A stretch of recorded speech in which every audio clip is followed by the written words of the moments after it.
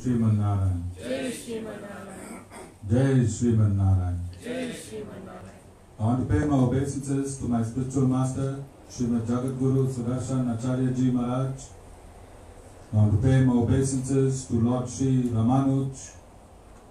I want to pay my obeisances to Mother Lakshmi. And I want to pay my obeisances to Lord Sriman Narayan. I want to welcome all of you to our Sunday satsang at the Sri Narayan Dham in Reservoir Hills, Durban, South Africa. I want to welcome all of you that's watching this discourse on live feed from wherever you are. And I want to go into our topic for discussion this morning. Sanatan Dharma is the Sri Sampradaya.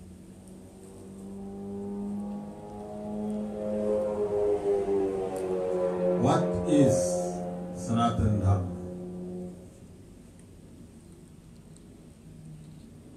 What does Sanatan Dharma mean?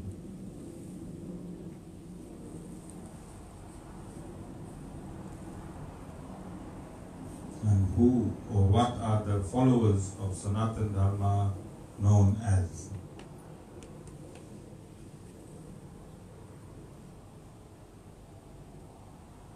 When we answer these questions, we will realize that Lord Sri Ramanuj collated all the Vedic injunctions and he put them together in such a manner that nothing that was spoken in the Vedas is contradictory. It is just the human understanding that we sometimes find one injunction in contradiction with another injunction. And Lord Sri Ramanuj took over 60 years of his lifetime to make sure that his hard work over those 60 years can benefit us today, 1,000 years later. This synthesization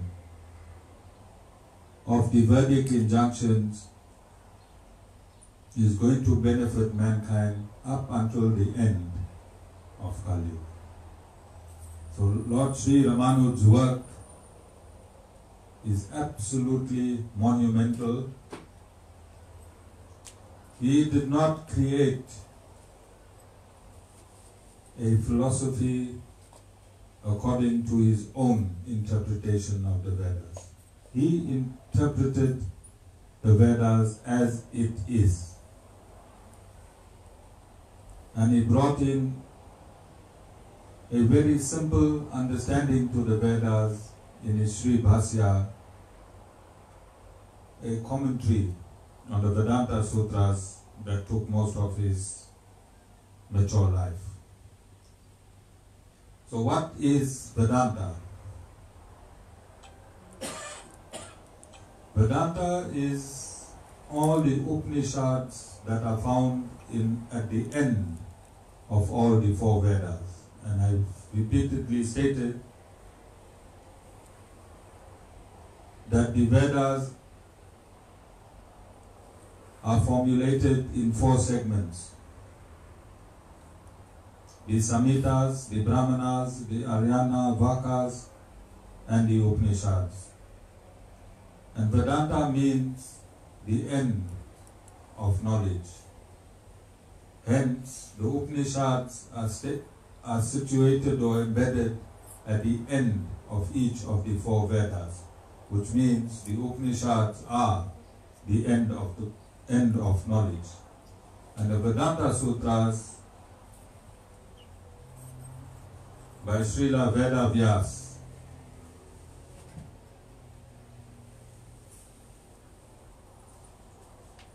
is there to formulate an understanding in the four in the four Vedas in such a way that everything is clearly understood. And wherever there is any any aspect that is not interpreted correctly then in the Vedanta Sutra various saints and sages have tried in their own way to clear these misconceptions in their own way. However, Lord Sri Ramanuj has cleared all of this as per Vedic injunctions itself. Hence, the Sri Sampradaya is not only Sanatan Dharma, it is absolute Vedanta as well.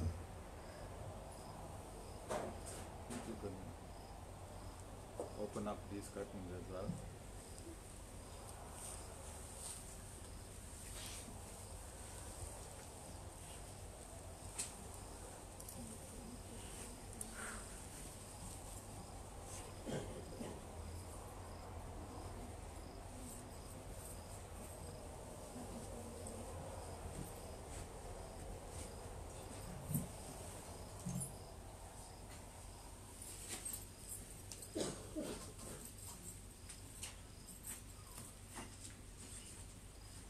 You're okay now? Okay? Okay, if you are feeling hot, you can go towards the back, but just remain in view. Alright?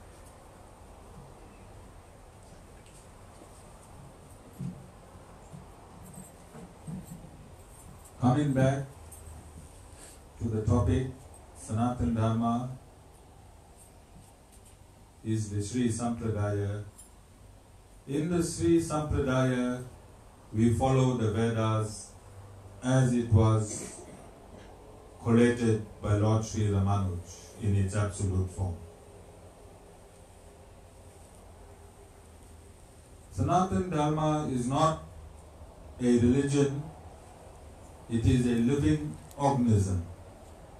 It is a living organism like a child when he sees a car moving. He would not understand that the car has an engine. He would not understand that the engine is responsible for the movement of the motor vehicle. Similarly, Sanatan Dharma is the engine of the universe. No Sanatan Dharma, no universe. No Vedas, no universe. No Vedanta, no universe. Everything in this universe takes its life from Sanatan Dharma. Hence, Sanatan Dharma cannot be a sectarian religious viewpoint of a particular group of people. Sanatan Dharma is a universal teaching that is a that's a living organism and it pertains to every life form in this universe. And on Tuesday satsang I differentiated between the the four social orders. And that four social orders exist in all religion. All religion have a priestly class, all religion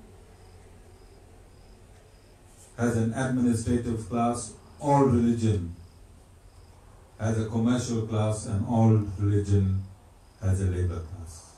So Sanatan Dharma exists in every religion, although not in a pure way. Sanatan Dharma can be investigated by scientists, by geologists, by archaeologists, whoever wants to investigate Sanatan Dharma, they are free to do so. They won't be prosecuted or persecuted. Two botanists from South India traced the route of Lord Sri Ram. I shared a posting on Facebook yesterday, I think. And they found that all the fauna and flora that Valmiki described in the Ramayana on Lord Ram's route from North India to South India, right up to Sri Lanka, is as it is.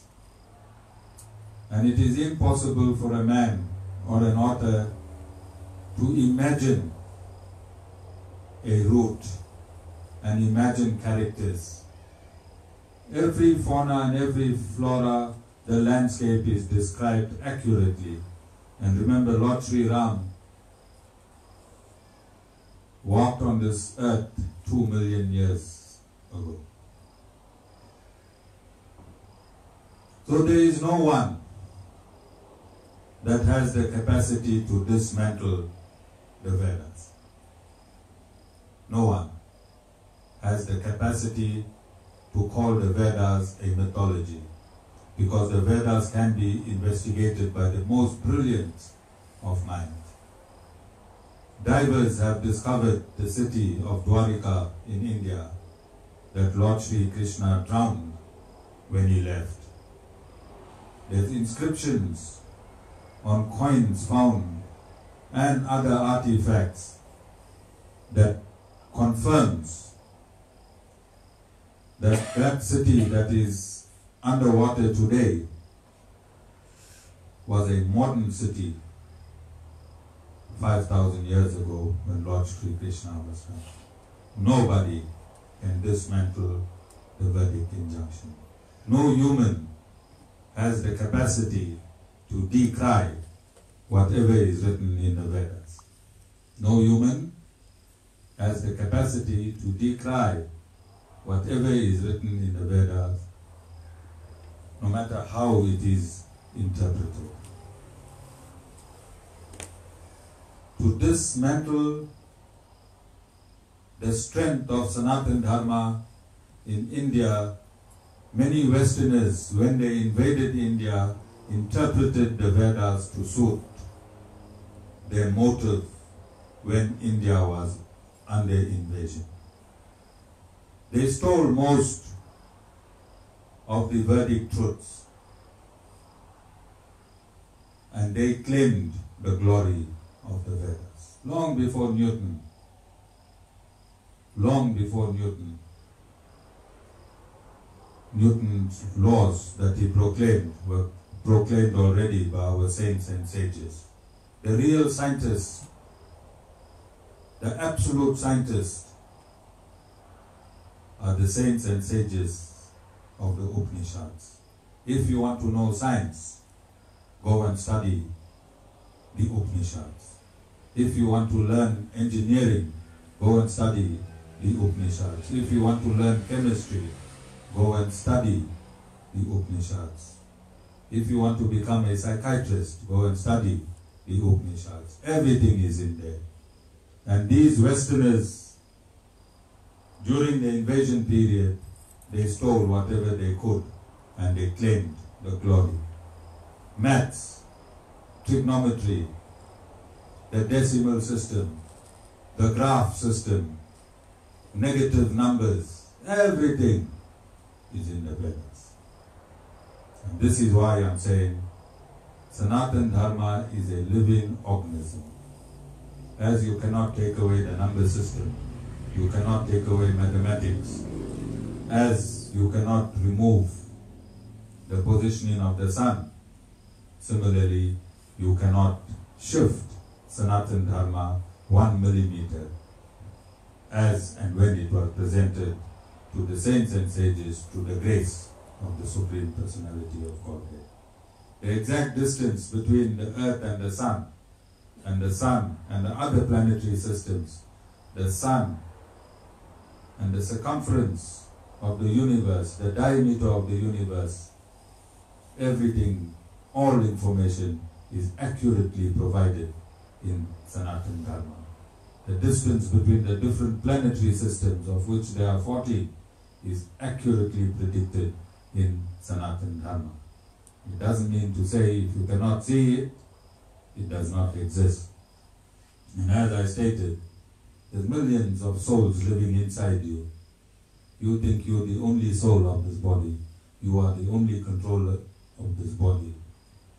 There's millions of microorganisms that's living in your body that you cannot see. Scrape your nostrils, scrape your tongue. There's living entities there all the time. In your intestines, in your entire body. Millions of other souls live with you. When you die, they die with you. Okay? Ashilka? You're a whole universe. Don't make your face funny.